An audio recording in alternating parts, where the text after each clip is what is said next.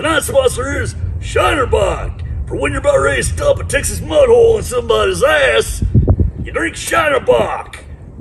You ready? You're going down.